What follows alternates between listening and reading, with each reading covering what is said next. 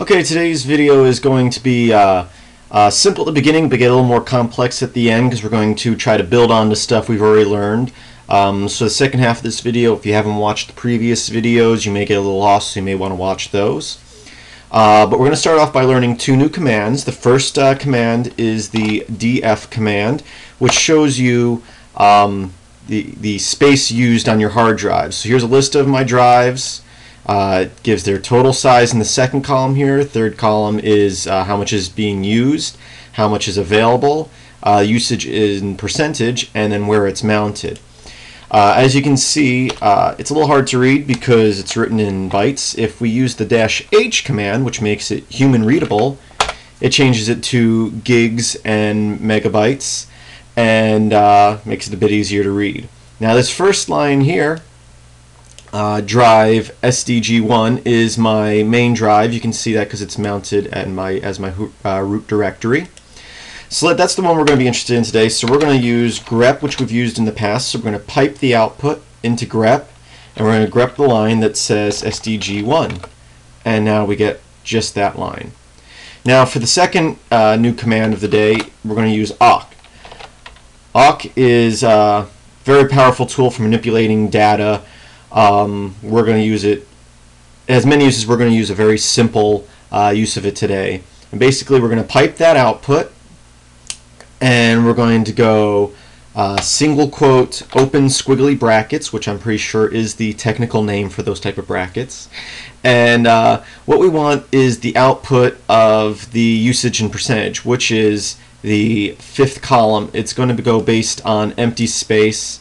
So we can see that this is one, two, three, four, and five. So what we're going to do is we're going to type print dollar sign five, and then we're going to close the brackets, close the single quotes, hit enter, and you can see we got 48%. Now if we want to know what the 48% is for, we can also output the first column, but it's not going to detect this space right here. As you can see, it gives us the output, but it's hard to read because there's not a space right there before the 48. Way to fix that is go here and put quotations with a space in them. And now makes it a little easier to read. We're going to take it a step further.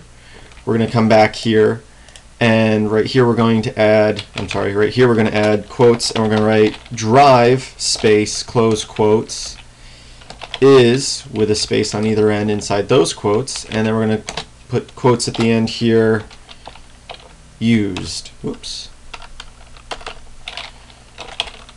And close those quotes. So we get the output drive, this drive, is 48% used.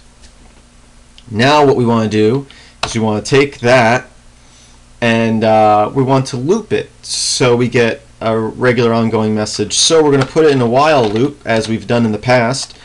Uh, so we're going to use while 1 uh, and what that does is set it so it loops forever until the user stops it. So we're going to do this during that loop. We're also going to add a command here at the end for sleep for 5. Uh, by default it's seconds.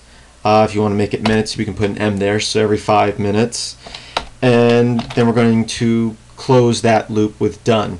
We're also going to want to add at the beginning here of the loop the clear command to clear the screen. We hit enter and it gives us an easy readable output and every five minutes it will update that. Now we're going to take it a step further and what we're going to do is we're going to use notify output which we've used in a previous video. So we're going to do notify, I'm sorry, notify send to get a visual output and uh, what we're going to use here is we're going to do quotations and then this thing that looks like a single quote but it's not a single quote. I don't know the technical name of it, but it's actually the key that's next to the one key on your keyboard uh, on the same button as that little symbol there. Uh, and what this is going to do is anything we put inside there is it's going to run that command and basically take that output and use it with the with the notify send uh, command. We're going to close that and the sing and the double quotes here at the end.